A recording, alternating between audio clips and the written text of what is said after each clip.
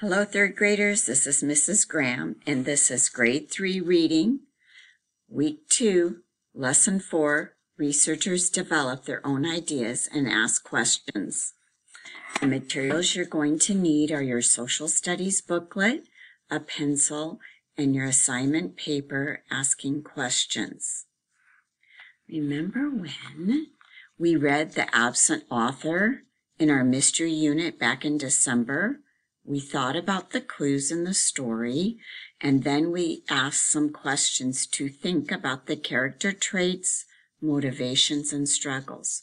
Questions like, I wonder why Mr. Linkletter, the hotel manager, was so nervous every time Dink, Josh, and Ruth Rose asked him about the missing author, Wally Wallace.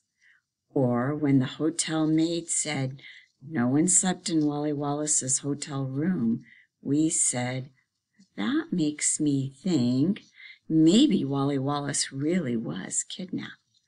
Well, when readers research a nonfiction topic, they also need to pause and think about what they've read and develop their own ideas and questions.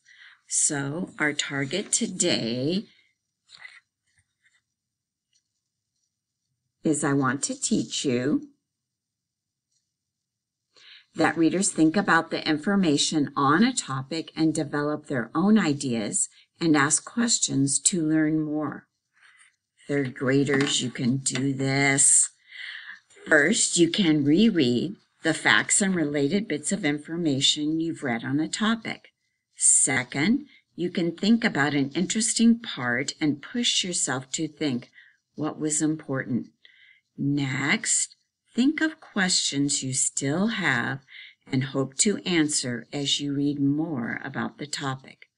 This is how researchers develop their own ideas about a nonfiction topic. Watch me as I show you how readers do this. In our social studies notebook on page Whaling, it says, we will use the talking and thinking in response to our text. We'll use the talking and thinking in response to our text chart to help us develop our own ideas about whaling. On the whaling page it says, all Northwest coastal men fished, but whale hunting was done only by the Nootka and Makah village chiefs. The village chief was the only one who could afford the crew and the large seaworthy canoes. Hunters were hired and trained by the chief. This was a dangerous job. Natives respected the whale and believed human effort alone was not enough to subdue one. Therefore, the whole whale hunt from beginning to end had to follow rigid rules. If anything was done wrong, the hunt was destined to be difficult or unsuccessful. Now I'm going to look at the talking and thinking in response to our text chart and think of an interesting part.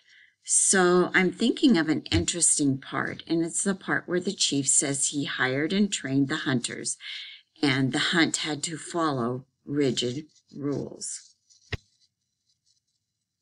Now I'm going to use one of the sentence frames from the chart to help me think about this information and develop my own ideas. Let's see. This makes me think the chief may want to select men who are strong, who can throw a harpoon accurately, and will be willing to follow his directions. Also, it says the hunt must follow rigid rules. This reminds me of the chief must trust his hunters and know they will follow his directions and do the job that he tells them to do. Let's see in our next paragraph, it says, whales were never killed quickly. Harpoons that were thrown had floats of inflated fish bladders attached to them to slow the whale's movement and keep it from sinking.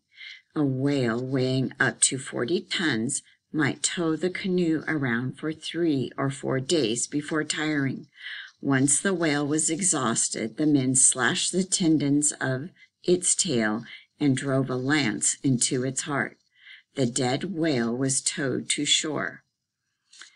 I think the interesting thing is that it could take three or four days to tire a whale out before it died.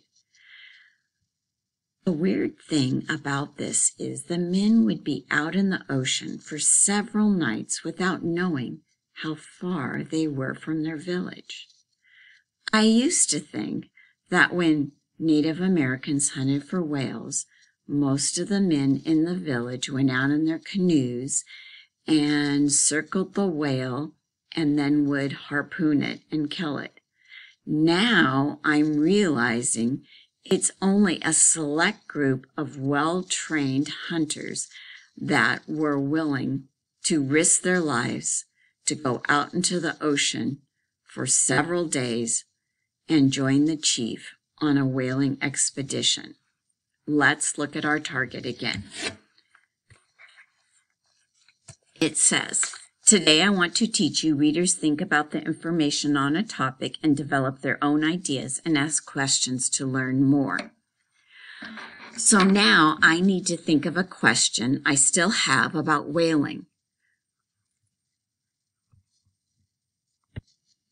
So third graders, the questions I'm thinking about are, what kinds of whales did they hunt? I wonder if we could tell what type of whales were hunted by looking at the tools that were made from whale bones. Uh, also, I know that whales migrate, but I'm thinking it's in groups. So my question is, how could they hunt just one whale?